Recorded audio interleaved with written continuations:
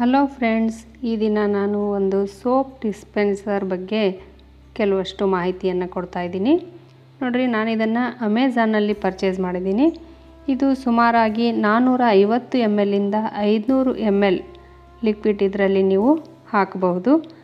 ಇಲ್ಲಿ ನಾನು ವಿಮ್ ಲಿಕ್ವಿಡನ್ನು ಹಾಕ್ತಾಯಿದ್ದೀನಿ ನೀವು ಯಾವುದಾದ್ರೂ ಸೋಪ್ ಲಿಕ್ವಿಡನ್ನು ಇದಕ್ಕೆ ಹಾಕಿ, ಆರಾಮವಾಗಿ ನೀವು ಇದನ್ನು ಕಿಚನ್ನಲ್ಲಿ ಸಿಂಕ್ ಹತ್ರ ಇಟ್ಕೊಂಡು ಯೂಸ್ ಮಾಡ್ಬೋದು.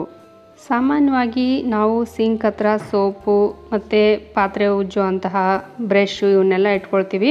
ಅದು ಓಪನ್ ಆಗಿರೋದ್ರಿಂದ, ಓಪನ್ ಆಗಿರೋಂತಹ ಸೋಪನ್ನು ಹಾಗೆ ಬಿಡೋದ್ರಿಂದ ಸಾಕಷ್ಟು ಸೊಳ್ಳೆಗಳು ಮತ್ತು ನೊರ್ಜುಗಳಾಗಿರ್ಬೋದು, ಸಣ್ಣ ಸಣ್ಣ ಕ್ರಿಮಿಕೀಟಗಳಾಗಿರ್ಬೋದು ಕಿಚನ್ನಲ್ಲಿ ಹೆಚ್ಚಾಗ್ತಾ ಹೋಗುತ್ತೆ. ಹಾಗಾಗಿ ನಾವು ಇದನ್ನು ಬಳಕೆ ಮಾಡೋದ್ರಿಂದ, ಇದಕ್ಕೆ ಮೇಲೆ ಬಾಕ್ಸು ಸಹ ಮುಚ್ಚೋದಕ್ಕೆ ಮುಚ್ಚಳನೂ ಸಹ ಇರೋದ್ರಿಂದ ಯಾವುದೇ ರೀತಿ ಹೊರಗಡೆ ಸ್ಮೆಲ್ಲು ಸಹ ಬರಲ್ಲ.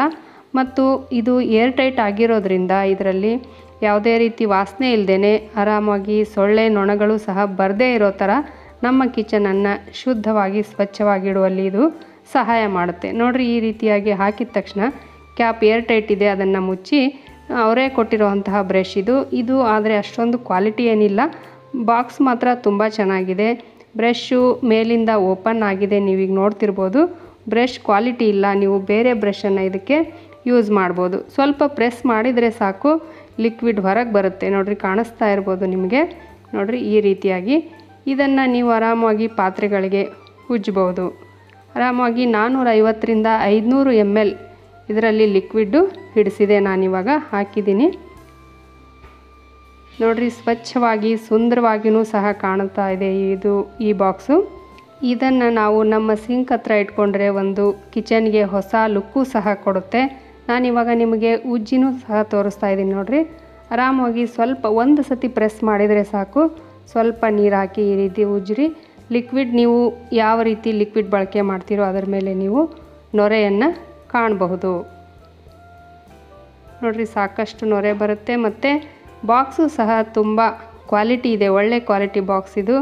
ಇದನ್ನು ಆರಾಮವಾಗಿ ನೀವು ಬಳಕೆ ಮಾಡ್ಬೋದು. ನೋಡಿರಿ ಇಷ್ಟೇ. ಈ ರೀತಿ ಹಾಕಿ ಆಮೇಲೆ ನೀವು ತೊಳೆದಾದ ನಂತರ ಎಲ್ಲ ಪಾತ್ರೆಗಳು ತೊಳೆಯೋದಾದ ನಂತರ ಇದನ್ನು ನೀರು ಹಾಕಿನೂ ಸಹ ಕ್ಲೀನಾಗಿ ಮೇಲಿನ ಮುಚ್ಚಳವನ್ನು ತೊಳೆದು ಮುಚ್ಚಿಡಬಹುದು. ಆದ್ದರಿಂದ ಯಾವುದೇ ರೀತಿ ಸೊಳ್ಳೆ ನೊಣಗಳು ಸಹ ಇಲ್ಲಿ ಬರೋದಕ್ಕೆ ಚಾನ್ಸೇ ಇರಲ್ಲ. ಸೊಳ್ಳೆ ನೊಣಗಳಿಂದ ಮುಕ್ತವಾದಂತಹ ಕಿಚನ್ ನಿಮಗೆ ಬೇಕು ಅಂದರೆ ಖಂಡಿತವಾಗ್ಲೂ ನೀವು ಇದನ್ನು ಪರ್ಚೇಸ್ ಮಾಡಿಕೊಳ್ಳ್ರಿ ಈ ವಿಡಿಯೋ ನಿಮಗೆಲ್ಲ ಇಷ್ಟ ಆಗಿದ್ದರೆ ಒಂದು ಲೈಕ್ ಕೊಡೋದ್ರ ಜೊತೆಗೆ ಹೆಚ್ಚು ಹೆಚ್ಚು ಜನರಿಗೆ ಶೇರ್ ಮಾಡಿರಿ. ಹಾಗೆ ನನ್ನ ಎಸ್ ಆರ್ ಪಿ ಸ್ಕ್ವೇರ್ ಚಾನಲನ್ನು ಸಬ್ಸ್ಕ್ರೈಬ್ ಮಾಡಿಕೊಳ್ಳ್ರಿ